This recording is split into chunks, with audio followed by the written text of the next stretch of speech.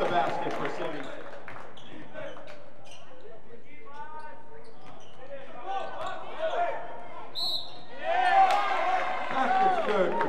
Jones.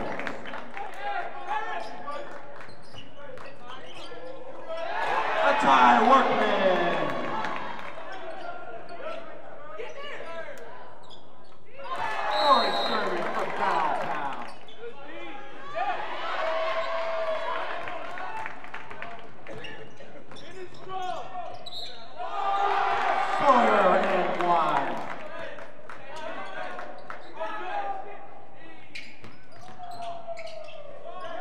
Corey Sherman.